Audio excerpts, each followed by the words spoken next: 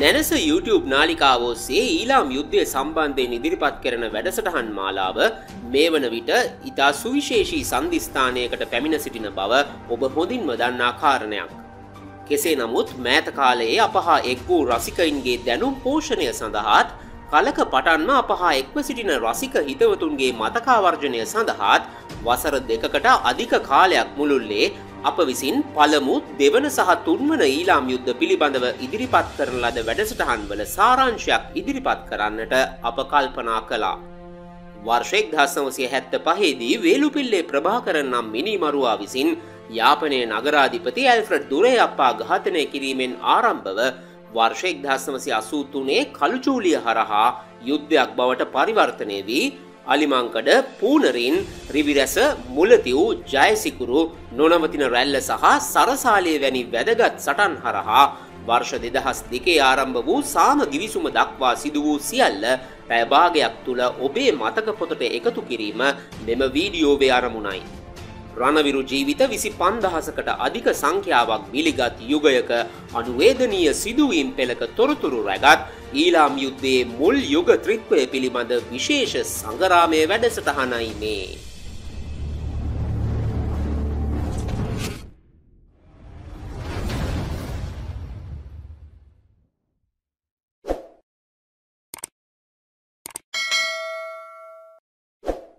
ප්‍රභාකරන් නම් සාහසිකයාගේ ඝාතන රැල්ලෙහි ආරම්භය ලෙස සැලකෙන්නේ වර්ෂ එක්දහස් සමසිය හැත්ත පහේදී සිදු කළ ඇල්ෆ්‍රඩ් දුරේ අපා ඝාතනයයි.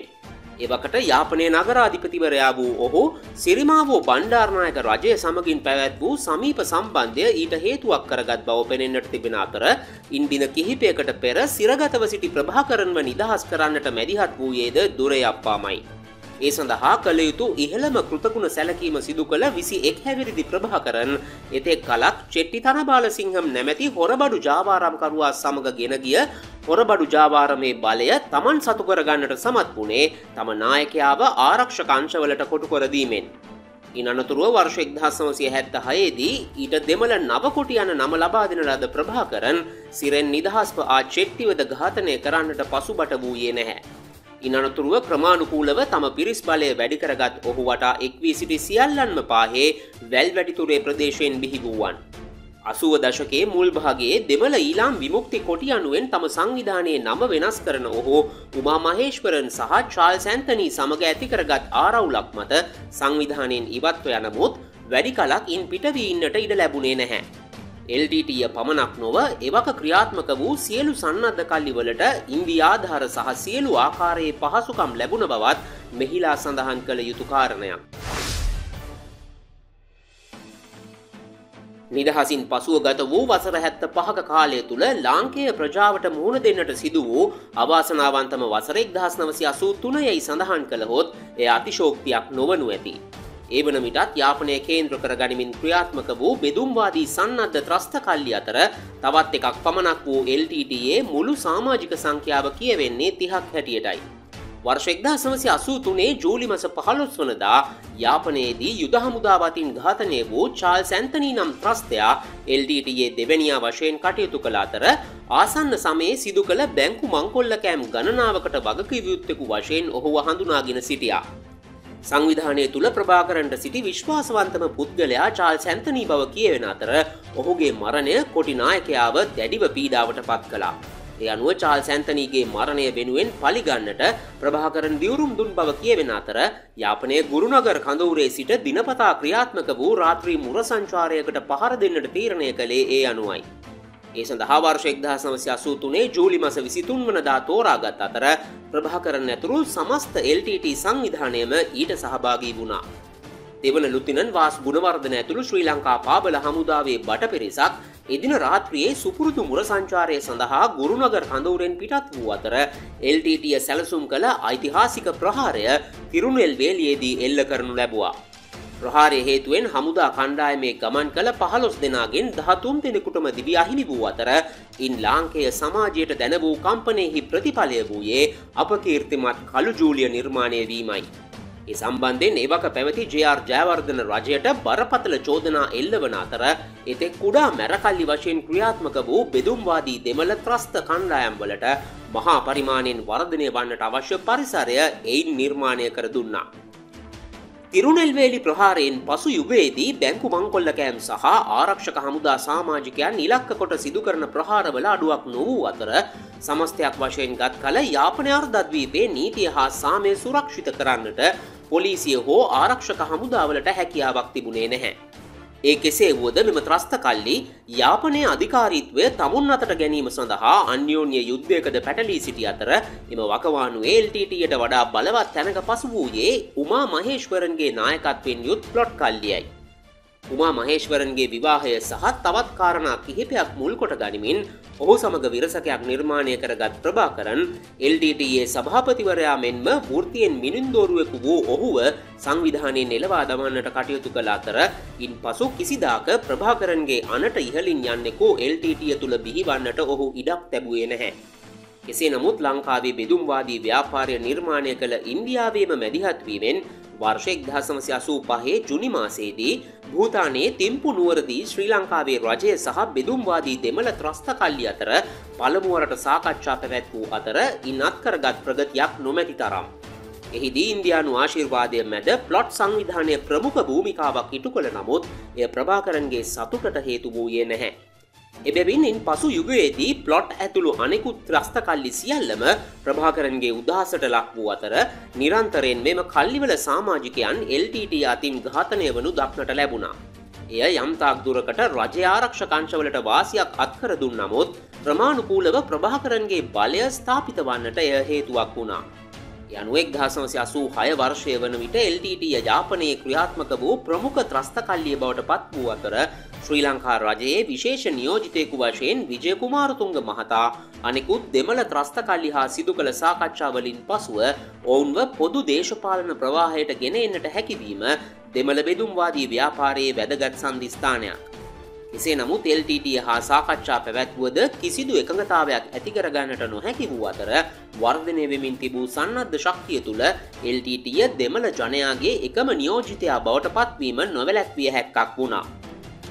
පළමු ඊලාම් යුද සමය පිළිබඳ සලකා බැලීමේදී එක්දහස් නවසි අසූ තුන හැරුණු කොට වැදගත්ම වසර වූයේ එක්දහස් නවසි අසූ හතයි.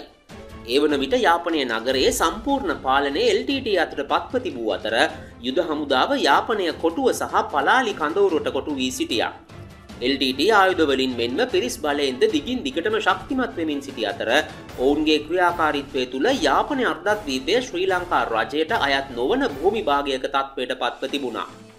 එවනතාක්ම LTTට එරෙහිව සැලකයුතු මට්ටමේ කිසිදු මෙහෙවුමක් සිදු කර නොතිබූ නමුත් එක්දහස්නමසි අසූ හයවසර අගභාගේ අවස්ථා දෙකකදී පමණ ත්‍රස්තයින්ට එරෙහිව සටන් වදිනාකාරය අත්හදා බලා තිබුණා. එකී අත්දැකීම් උපයෝගී කරගනිමින් යාපනයේ කොටි බලය සිඳලීමේ අරමුණ ඇතිව මහා පරිමාණ මෙහෙවුමක් ක්‍රියත් කිරීම සඳහා මේරට දේශපාලන අධිකාරී එකඟ කරවා ගන්නට හමුදා ප්‍රධානීන්ට හැකි වූ අතර ඔපරේෂන් ලිබරේෂන් යනුවෙන් නම් කළ මෙහෙවුම සැලසුම් කෙරුණේ ඒ අනුවයි. එහි පළමු අදියර යටතේ යාපන අර්ධද්වීපයේ වඩමාරච්චි කොට්ටාශයේ ත්‍රස්ත බලය සිඳලීම ඉලක්ක කළ අතර එම තෝරා ගැනීමට හේතු වූයේ ඒ වන විටත් එල්ටට කාඩරයින් සැපීමේ මධ්‍යස්ථානය එහි වූ වැල් පැටිතුරේදීමත් ඒ හරහා සිදු කරන හොරබඩු ජාවාරම සහ අභ්‍යාද ජාවාරම හරහා එල්ටටිය තවදුරටත් ශක්තිමත් වෙමින් සිටීමයි.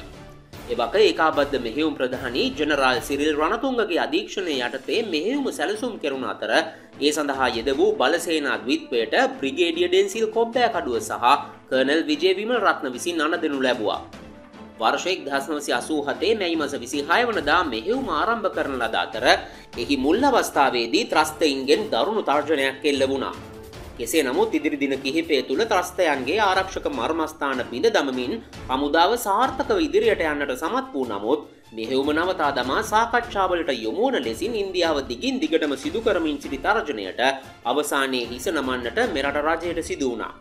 ඊට ප්‍රධාන වශයෙන්ම හේතු වූයේ ඔපරේෂන් පෝමාලේ ලෙසින් හැඳින් වූ ගුවන් මෙහෙවුම හරහා ඉන්දිය ගුවන්යානා මගින් යාපනයට බහන්ඩ මලු හෙලීමේ සිද්ධියයි.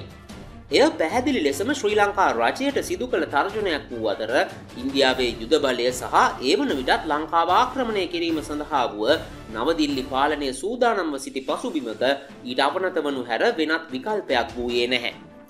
ඒ අන්දමින් වඩමාරච්ච මෙහෙවුම ලෙසින් ප්‍රසිද්ධියට පත් වූ මෙහෙවුම නවතා දමා අල්ලාගත් ප්‍රදේශවලින්ද පසු බැසෙන්න්නට හමුදාවට සිදු වූ අතර ඉදිරිදින කිහිපේදී සිදු වූ දෑ අදටත් අපට ගැලවිය නොහැකි දේශපාලනික මර උගුල් වශයෙන් හැඳින්විය යුතුයි. වර්ෂෙක් දහස්වසි අසූ හතේ ජූලි මස විසි නම වනදා ඉන්දියාව සහ ශ්‍රී ලංකා අතර මේ සම්බන්ධයෙන් වූ ගිවිසුමක් අත්සන් තැබූ අතර එය ප්‍රසිද්ධ වූයේ ඉන්දු ලංකා සාම ගිවිසුම හැටියටයි. සාමයක් ඇතිවීම කෙසේ වෙතත් එල්ටටිය තවදුරටත් බලවත්වීමට එය පිටු බලයක් වූ අතර එම ගිවිසුමට ශ්‍රී ලංකා රජයත් එල්ටටියත් එකඟ වූයේ ඉන්දයානු යුද බලයට අභියෝග කිරීමට දෙපාර්ශවයටම නොහැකිවීම නිසයි. කෙසේ නමුත් එම ගිවිසුම අත්සන් කළදාට පසුදා සිටම ඉන්දිය සාමසාධක හමුදාව මෙරටට පැමිණ උතුරු නැගෙනහිර දෙපලාතේ ස්ථානගතවීම ආරම්භ වූ අතර පලාත් සභහක්‍රමය පිහිටුවීම සිදුවූයේද එම ගිවිසුමේ සඳහන් කරුණු අනුවයි. එලෙසින් බලන කල ඉන්දියාවට ඕනෑම අවස්ථාවක ලංකාවේ ව්‍යවස්ථාව පවා වෙනස් කරවන්නට හැකියාවක් තිබූ බව නොසංගවිය හැක්කා. ඉන්දිය සාමසාධක හමුදාව මෙරට ස්ථානගත වී දෙමසක් පමණ ගතවන විට එල්ටටිය සහ ඔවුන් අතර යුද ගැටු මැවිලයන්නට වූ අතර ඉන්දු ලංකා ගිවිසුමට එරෙහිව දකුණේ ආරම්භ වූ විරෝධතාවන්ඩ රාජ්‍ය විරෝධී කැරැල්ලක තත්ත්වයට පත්ව තිබුණා. එබැවින් උතුරු නැගෙනහිර දෙපලාතේ ආරක්ෂාව ඉන්දිය හමුදාවට භාරදී ජවිප කැරල්ල මැඩලීම සඳහා යොමුවන්නට රජයේ හමුදාවන්ට සිදු වූ අතර එල්ටටත් ඉන්දිය හමුදාවත් අතර විටින් විට දරුණු ගැටුම් ඇවිල ගියා. මෙම තත්ත්වය වර්ෂ එක්දහසම සසූ නවය අග දක්වාම පැවති අතර ජවිපෙ නායක රෝහණ විජේවීර ඇතුළු කැරලි නායකින්ගේ ඝාතනෙන් පසුව දකුණේ කැරැල්ල අවසන් වූ බැවින් යළි තාරක්ෂක හමුදා උතුරු නැගෙනහිර යෙදවීමට හැකි තත්ත්වයක් උදා වුණා. එමෙන් මෙම වසර මුල බලයට පත් වූ ජනපති රණසිංහ ප්‍රේමදාස ඉන්දිය සාමසාධක හමුදාව මෙරටින් පිටවිය යුතු බව මුල සිටම තදින් කියා සිටීමත් රාජීව් ගාන්ධිට ඉන්දියාවේ බලයාහිමිව තිබීමත් හේතු කොටගෙන වර්ෂෙක් දහසමසය අනුවේ මාර්තු මාසය වන විට ඉන්දිය සාමසාධක හමුදාව සම්පූර්ණයෙන්ම ලංකාවෙන් පිටව ගියා. එම ක්‍රියාවලිය තුළ ඉන්දිය හමුදාවට එරහිව සටන් වැදීම සඳහා ජනපති ප්‍රේමදාසගේ පාලනය මගින් එල්ටටිය වෙත අව්‍යායුධ පවා ලබා දුන්න අතර ඔහුගේ විශ්වාසය වූයේ එල්ටටිය හා සාකච්ඡා කොට විසඳුමක් ඇති කරගන්නට හැකිවනු ඇති බවයි. ඒ අනුව ඔහු කොටි නායකයින් කොළඹට ගෙන්වා සුපිරි හෝටල් වලදී සාමසාකච්ඡා පවත්වානට කටයුතු කළ නමුත් ඒ සියල්ල පෙර අවස්ථාවේදී මෙන්ම සාර්ථක වූයේ එල්ටටිය සාම සාකච්ඡා භාවිතා කරන්නේ කුමක් සඳහා දෙයන්න ප්‍රදර්ශනය කරමින්. වර්ෂෙක් දහස්නවසි අනුවේ ජූනි මාසේදී යළිත් වරක් රජයේ ආරක්ෂක හමුදාවන්ට එරෙහිව ප්‍රහාර දියත් කිරීම ආරම්භ වූ අතර විශේෂයෙන්ම නැගෙනහිර පලාතේ හමුදා කඳවුරු සහ පොලිස් ස්ථාන ගණනාවකට එකවර ප්‍රහාර එල්ලවීම සැලකෙන්නේ දෙවන ඊලාම් යුද්ධය ආරම්භය හැටියටයි. එහිදී රජයේ නියෝග මත අභිබිම තබා එල්ටට යටත් වූ පොලිස් නිලධහරින් හයසීයක් දෙනා අමානුෂිකන්දමින් ඝාතනය කර දමනු ලැබූ අතර උතුරු පලාතේ තැනින් තැන ස්ථාපිත කර තිබූ හුද කලා කඳවුරු ගණනාවකටත් ප්‍රහාරෙල් ලැබුණා. එහිදී මාන්කුලම් කොකාවිල් සහ කිරිනොච්ච යන වන්නේ පිහිටි කඳවුරු මෙන්ම යාපනය කොටුව කඳවුරද ත්‍රස්තයන් විසින් වටනු ලැබීම නිසා හමුදාවම කඳවුරු තුළට කොටු වුණා. එහිදී කොකාවිල් කඳවුරට එල්ලවෙමින් පැවති තර්ජනය එන්න එන්නම වැඩි වූ අතර අවසානයේ ජූලි මස දෙවන සතියේදී කඳවුර අභිභවනය කරන්නට ත්‍රස්තයින් සමත් වුණා. එම කඳවුරට අන්නදුන් සිංහ රජිමේන්තුවේ දෙවන ලුතිනන් සාලියාල දෙනියට කඳවුර අතහැර පසු බසින්නට අන ලැබී තිබියදී තුවාල ලැබූ සෙබලුන් අතහැරෙන්න්නට අකමැතිවීම හේතුවෙන් ඔහුද එහිම මිහිදන් වූ අතර ලාංකය හමුදා සාමාජිකයෙකු යුද බිමේදී ප්‍රදර්ශනය කරන වීරත්වය වෙනුවෙන් පුද කරන්නා වූ ඉහළම සම්මානය වන පරම වීර විභූෂණය ඉතිහාසේ ප්‍රථමවරට ඔහු වෙනුවෙන් පුද කලා. ඉන් අනතුරුව ගජපා රජිමේන්තුවේ සෙබලුන් රැඳී සිටි මාන්කුලම් කඳවුරද ත්‍රස්තයන් විසින් අභිභවනය කරන්නට ප්‍රථම එය අතහැර පසුබසින්නට තීරණය කළ අතර කිලිනොච්චි කඳවුරුද ත්‍රස්තයින් අතට පත් වූ පසුව සමස්ත වන්නේ තුළ පිහිටි එකම යුද හමුදා කඳවුර වූයේ මුලතිව් පමණයි. යාපනය අර්ධද්වීපේ දකුණු කෙලවරේ පිහිටි අලිමංකඩ කඳවුරත් මන්නාරම සිට යාපනය දක්වා දිවෙනේ තිස්තික මාර්ගය පිහිටි පූනරින් කඳවුරත් ආරක්ෂිතව පැවති නමුත් ඉතා කුඩා බට පිරිසක් වැඳේ සිටි යාපනය කොටුව කඳවුර ත්‍රස්තයන් විසින් වටලනු ලැබතිවීම තුළ ඇති වූයේ දරුණු තර්ජනයක්. යනුව යාපනය කොටුවාවට ප්‍රස්ථ බලය විනාශකොට යාපනය නගරේ ආරක්ෂාව තහවුරු කිරීම සඳහා මෙහෙවුමක් සැලසුම් කෙරුණ අතර එය නම් කෙරුණේ ත්‍රිවිධ බලය හැටියටයි. මේජ ජනරාල් ඩෙන්සිල් කොබ්බෑ කඩුව යටතේ කරයිනගර් කඳවරේ සිට ප්‍රහාර ආරම්භ කළ පළමු සිංහ සහ පළමු ගජපායන බලඇනිවලට අනුපිළිවිලෙන් එවකට ලුතිනන් කර්නල් වරුන් වූ සරත් ෆොන්සේකා සහ ගෝටාබේ රාජපක්ෂයන නිලධාරී නන දුන්න අතර ඔවුන් ක්‍රමාණුකූලව කයිත් සහ මන්දතිව් යන දූපත්වල බලය තහවුරු කර ගනිමින් ඉදිරියට පැමිණියා. එසේ නමුත් ඒ වන විටත් කිලිනොච්චි කඳවුරට ත්‍රස්තවාදීන් පහර දෙමින් සිටීම හේතුවෙන් ත්‍රිවිධ බලය මෙහෙවුම තාවකාලිකව නවතා කිලිනොච්චි කඳවුර බේරා ගැනීමට අවධානය යොමු කරන්නට සිදුවුවද එය බේරාගත හැකි වූයේ නැහැ.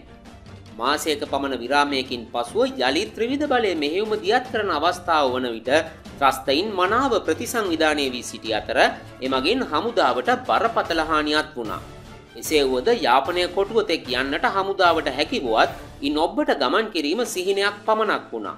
යනුව යාපනය කොටුව දතහැර දමා සියලුම බට පිරිස් පසු බැසයන්නට වූ අතර සමස්ත උතුරු පලාතටම ඉතිරි වූ හමුදා කඳවුරු වූයේ පලාලි අලිමංකඩ පූනරින් මුලතිව් මන්නාරම සහ බෞනියාව පමණයි.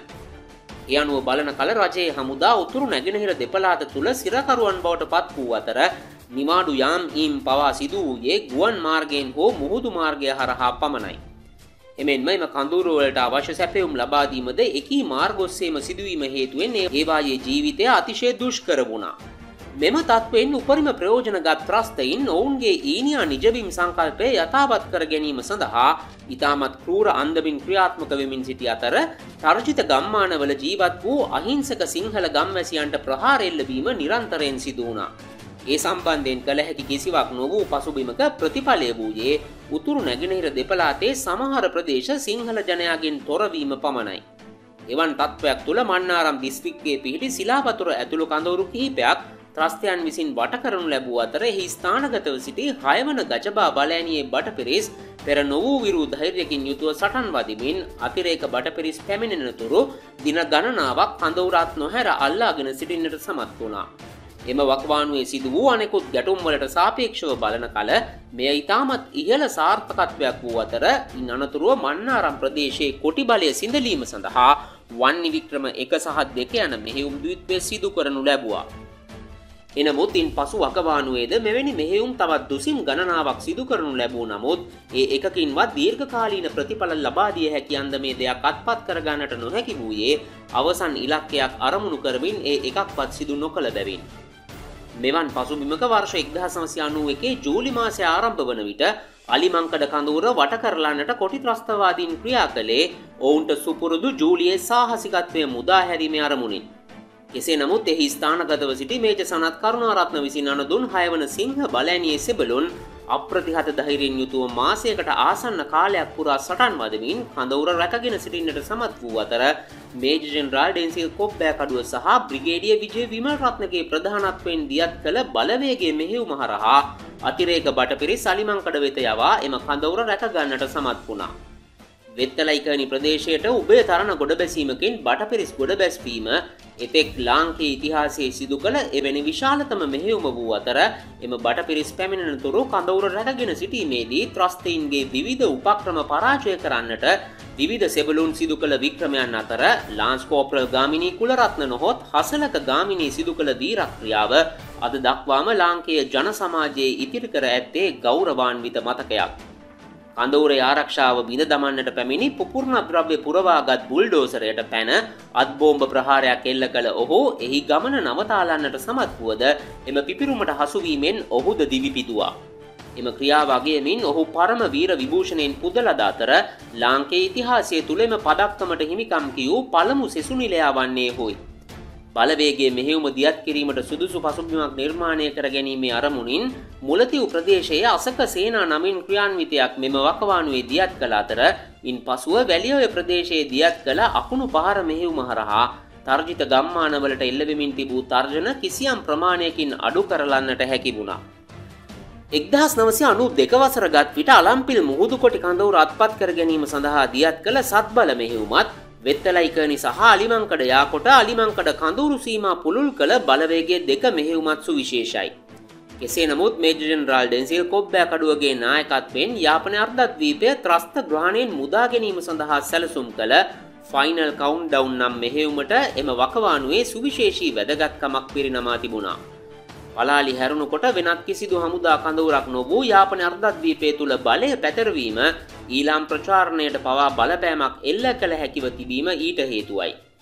එබැවින් එහි පූර්ව සූදානම්වීමේ කටයුතු නිරීක්ෂණය කිරීම සඳහා මේ ජනරල් ඩෙන්සිල් කොබ්බෑ කඩුව බ්‍රිගේඩේ විජය විමල්රත්න සහ කොමදෝරු මොහන් ජය මහ ඇතුළු යුද සහ නාවික විරුවන් පිරිසක් කයිට් ස්තූපතේ සංචාරයක් සිදුකොට ආපසු එන ගමනේදී ඒ සියලු දෙනා ගමන් කළ ඩිෆෙන්ඩර් රථය මාරක බිම්බෝම්බයකට හසු වුණේ සමස්ත ඊලාම් යුද්ධය පුරාම රටේ පොඩ්ඩු ජනතාවට දැනුවන තියුණුම කම්පනය දනවමින්.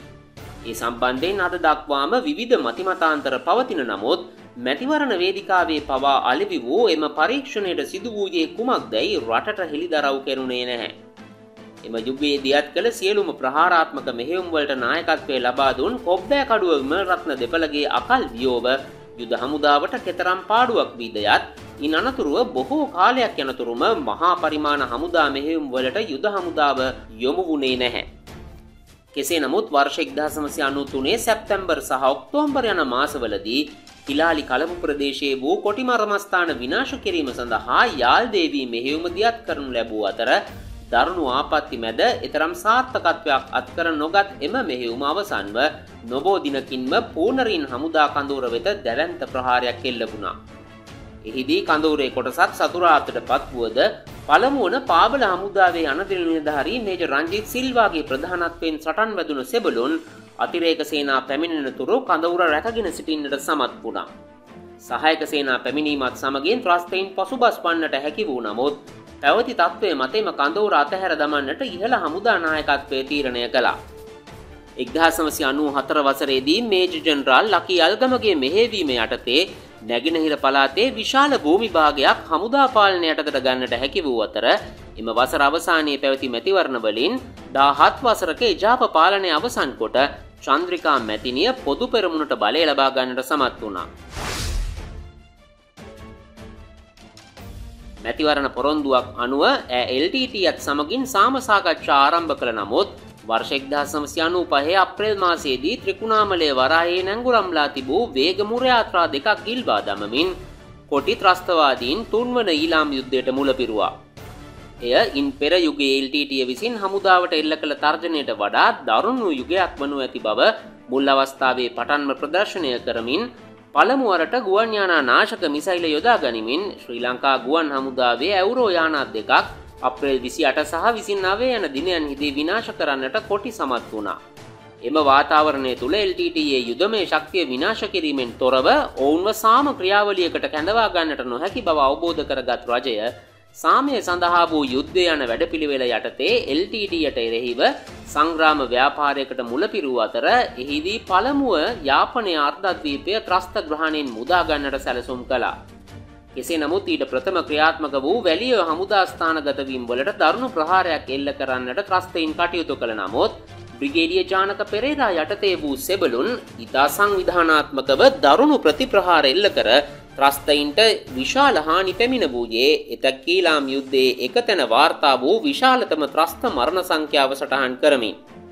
කෙසේ නමුත් මේ අතර යාපනය අර්ධද්වීපය මුදා ගැනීමෙන් මෙහෙවුම් සඳහා නවීන අවියායුධ යානයනය කිරීමද සිදු වූ අතර පළමුුව හමුදාවේ යුද සූදානම ඉහළ මට්ටමකට ගෙනීම සඳහා ඉදිරිපින්ම ෂේක් හැන් සහ තන්ඩ ස්ට්‍රයික් යන මූලික මෙහෙවුම් තුන සුදු කළ අතර ඒ භාවසානයේ ඔක්තෝම්බර් මස මැදභාගයේදී රිවිරස මෙහෙවුම දියත් කරනු ලැබුවේ යාපනය නගරයද අයත් වලිකාමම් කොට්ටාශයෙන් ත්‍රස්තයින් පන්නා දැමීම සඳහායි.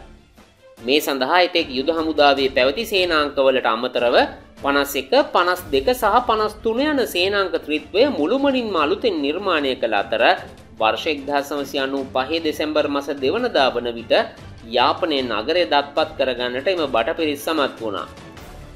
ඉන් අනතුරුව දියත් කළ රිවිරස දෙක සහ රිවිරස තුන යන අධියරවල මෙහෙවුම් මගින් තෙන්නමාරච්චි කොට්ටාශයත් වඩමාරච්චි කොට්ටාශයත් අත්පත් කොටගෙන ත්‍රස්තයින්ට මුළුමනින්ම යාපනය අර්ධද්වීපය අහිමි කරන්නට හමුදාව සමත් වුණා. කෙසේ වෙතත් ත්‍රිවිරස මෙහෙවුමේ සාර්ථකත්වයෙන් ලබාගත් කීර්තිය එතරම් කාලයක් පවතින්නට ඉඩ නොදුන් ත්‍රස්තයින් වර්ෂෙක්දහසමසි අනූහයේ ජූලි මාසේදී හුද කලාව පැවති මුලතිව් කඳවරට දැවන්ත ප්‍රහාරයක් එල්ල කළ අතර එම අවස්ථාවේදී බටපිරිස් නිසි නායකත්වයක් නොමැතිවීම හේතුවෙන් ප්‍රහාරය ආරම්භ වී පැය කිහිපයක් තුළ සමස්ත කඳවුරම සතුරාතට පත් වුණේ රණවිරු ජීවිත එක්දහස් හාරසියකට අධික සංඛ්‍යාවක් එහිම මිහිදන් කරමින්. යුද හමුදා විශේෂ බලකායේ ප්‍රධානත්වයෙන් අලම්පිල් වෙත ගොඩබසින ලද විශාල සේනාවක් විසින් මුලතෙව් කඳවුර යළි අත්පත් කරගන්නට උත්සුක වුවද ඒ වන විට හියලිත් ලබාගත හැකි දෙයක් ඉතිරි නොවීම තුළ එම අදහැස අතහැර දමනු ලැබුවා. මුලතෙව් කඳවුරේ තිබූ මිලිමීටර එකසී විසි දෙක කාලතුවක් වවි දෙකක් ඇතුළු විශාල අවියායුධ ප්‍රමාණයක් ත්‍රස්තයින් අතට පත් වූ අතර මෙය ඊලාම් යුද්ධයේදී හමුදාව ලැබූ පරාජයන් අතර ප්‍රමුඛතම එකක් වුණා. කෙසේ නමුත් එහි කැලල හැකීක්මනින් මකාගන්නට අඩ්තිරන් කළ හමුදාව අලිමංකඩ දකුණු ආරක්ෂක වලල්ල පරන්තැන් දක්වා පුළුල් කිරීමේ අරමුණ ඇතිව සජ්ජය නම් මෙහෙවුමදියත් කළ අතර අවසානයේ කිලිනොච්චියද තම පාලනයට ගන්නට යුද හමුදාව සමත් වුණා. එනමුත් එම ආරක්ෂාවේ වූ මූලික දුර්වලතා හඳුනාගත් ත්‍රස්තයින් අවස්ථා කිහිපයකදීම එය බිඳ දමන්නට උත්සාහ කළ නමුත් අප වීරෝධාර රණවිරුවන් ඊට ඉඩක් ලබා දුන්නේ නැහැ. මේ අතර රිවිරස් ජයග්‍රහණයෙන් මත්ව සිටි ආණ්ඩුව වර්ෂ එක්දහස් සමසියානූ අටට යෙදුන පනස්පන නිදහස් සමරුවට සමගාමීව විශාල යුද ජයග්‍රහණයක සතුට ලාංකේය ජනතාවට ලබා දෙන්නට තීරණය කළ අතර වර්ෂ එක්දහස් සමසියානූ හතේ මැයි මාසයේදී ජයසිකුරු ක්‍රියාන්විතය දියත් කළේ ඒ අනුවයි. එමගින් වෞනියාවේ සිට කිලිනොච්චිය දක්වා ඒ නයින් මාර්ගය නිදහස් කොටගෙන යාපනය අර්ධද්වීපය රටේ සෙසු කොටස් හා ගොඩබිමෙන් සම්බන්ධ කරන්නට අරමුණු කළා. කෙසේ නමුත් එම සැලසුමෙහි වූ බරපතල දෝෂ හේතුවෙන් එම කටයුත්ත සිතුවාට වඩා බෙහෙවින් මසිරු බව මුල සිටම ප්‍රදර්ශනය වූ අතර හමුදාව දැඩි ලෙස දේශපාලනී කරණය වීමත් දේශපාලනඥයන්ගේ ඕනෑපෑකම් අනුව යුද්ධ කරන්නට වීමත් දැකගත හැකි වුණා. එහි ප්‍රතිඵලයක් ලෙසින් එමගින් ලබාගත් සීමිත ජයග්‍රහණ වෙනුවෙන් පවා අති විශාල ආපත්ති ප්‍රමාණයක් විඳගන්නට අප හමුදාවන්ට සිදු වූ අතර මාස දහටක් පුරා ඇදී ගිය එම මෙහෙයුමේ වැඩිම කාලයක් බටපිරෙස් එක තැන සටන් වදිමින් කාලය ගත කරන්නට වුණා. කෙසේ හෝ අවසානයේදී හමුදාව මාන්කුලම් දක්වා ඉදිරියට යන්නට සමත් වූ අතර එම ජයග්‍රහණය වාර්තා කිරීමට දින දෙකකට පෙරාතුව ත්‍රස්තයින් එල්ල කළ නොනවතින රැල්ල දෙක ප්‍රහාරය මගින් හමුදාව කිලිනොච්චියෙන් පසු බස්පන්නට හැකි වුණා. එහි ප්‍රතිඵලයක් ලෙසින් ඒ නයින් මාර්ගය විවෘත කර ගැනීම තවදුරටත් යථාර්ථයක් නොවූ අතර අත්පත් කරගත් ස්ථානවලම තවත් වසරක් පමණ ගත වුණා. යතරවාරයේ දියත් කළ රිවි බල මෙහෙවුම මගින් ඔඩු සුඩන් දක්වා වන්නේ බලය ව්‍යාප්ත කරන්නට හමුදාව සමත් වූ අතර රණගොස මෙහෙවුම් මාලාව හරහා වන්නේ බටහිර කොටසේ පිහිටි මඩු මන්නාරම පාලම් පිට්ටිවැනි ප්‍රදේශද හමුදා පාලනයට නතු කරගන්නට වුණා. මේ අන්දමින් හමුදාව ඉතා විශාල ප්‍රදේශයක් ඉතාම තුනී සහ දුර්වල ආරක්ෂක වලල්ලකින් වටකොට සිටින අවස්ථාවේදී කල්යල් බලා ක්‍රියාත්මක වූ ත්‍රස්තයින් වර්ෂ එක්දහසමසි අනූ නවයේ නොවැම්බර් දෙවනදා නොනවතින රැල්ල තුන්වන මෙහෙවුම දියත් කළ අතර ප්‍රහාරය ආරම්භ වී පෑ කිහිපයක් තුළ බටපිරි සොට්ටු සුදාන් අතහැර පසු බසින්නට වුණා. ඉනනතුරුව හමුදාවේ පසු බැසීම කැරැල්ලක ස්වරූපයක් ගත් අතර කිසිදු පාලනයකින් තොරව තම ස්ථාන අතහැර පසු බැස පැමිණි සෙබලුන්ගෙන් සමහරෙක් වෞනියාව දුම්රිය ස්ථානයේ තම පෞද්ගලික ගිනි අවිය හරදමා නිවෙස් වෙත ගිය බවද වාර්තා වුණා. ඒ අනුව වසර දෙක හමාරක් මුළුල්ලේ අල්ලාගත් භූමිය පෑහැත්ත දෙකක් වැනි කාලයක් තුළ අතහැර පටන් ගැත්තැනටම පසුබසින්නට හමුදාවට සිදුවනා. නොනවතින රැල්ල තුන ප්‍රහාරයේ මීළඟ අදිය රහරහා මන්නාරම් ප්‍රදේශයේද හමුදාව පසුබස් වන්නට ත්‍රස්තයින් සමත් වුණා. එලෙස ලබාගත් සීග්‍ර ජයග්‍රාහි ගම්්‍යතාව ඒ අයුරින්ම පරන්තැන් සහ ලිමංකඩ හමුදා සංකීර්ණය වෙත හැරවූ එල්ටීටිය වර්ෂ එක්දාසනවසි අනු නවය අගභාගේ දිදියත් කළ ප්‍රහාරමාලාවෙන් වර්ෂ දෙදහේ අප්‍රේල් මාසය වන විට අලිමංකඩ කඳවුර හතර වටින් වටකොට සිටියා. එවන් තත්ත්වයක් තුළ තවදුරටත් කඳවුර පවත්වාගත නොහැකි බව අවබෝධ කරගත් හමුදානායකත්වය එවක ලංකාවේ පැවති දෙවන විශාලතම කඳවුර අතහැරදා පසුබසින්නට තීරණය කළ අතර එහි ප්‍රතිඵලයක් ලෙසින් අප්‍රේල් විසිතුන් වනදා අලිමංකඩ කඳෝරේ LTT කොඩිය එස වුණා.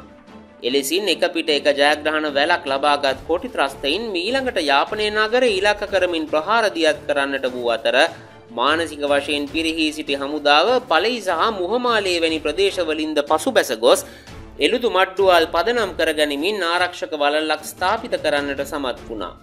එහිදී පනස් එක පනස් දෙක පනස්තුන සහ පනස් හතර යන සේනාංකවලට අමතරව පනස් පස්වන සේනාංකේද යාපන අර්ධද්වීපයටම ගෙන්වා තිබූ අතර ඊට අනදුන් බ්‍රිගේඩිය සීවලී වනිගසේකර ඒ මොහොතේ ලබා දුන්නා එකත්වය එළුතුමඩ්ඩුවා ලාරක්ෂක වලල්ල ස්ථාවර කරගන්නට මහංගු පිටු බලයක් වුණා.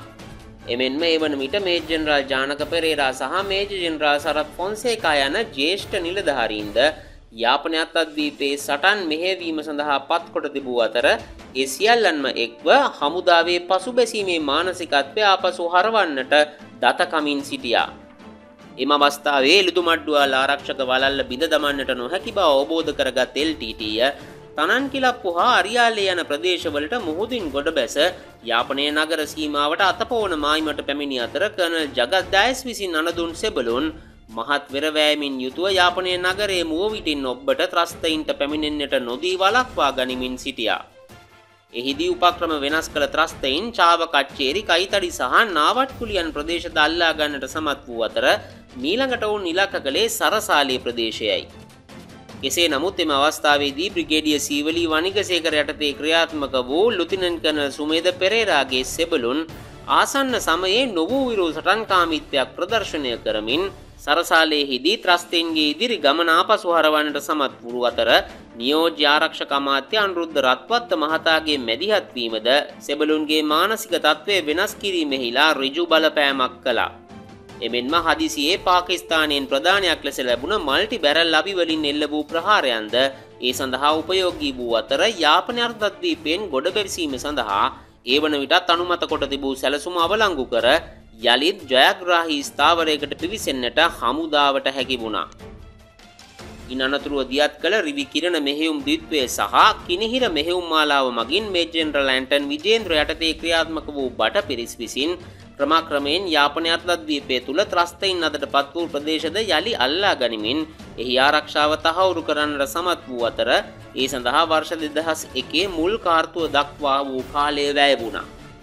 ඒ වන විට හමුදාව මුහමාලය දක්වා පෙරට පැමිණ තිබූ අතර ඉන් අනතුරුව එම වසර අප්‍රේල් මාසයේදී දියත් කරනු ලැබූ අග්නිකීල මෙහෙවුම මගින් අලිමංකඩ දක්වා යන්නට උත්සාහ කළ නමුත් ත්‍රස්තයින්ගේ දරුණු ප්‍රතිප්‍රහාර මැද එයා සාර්ථක වුණා.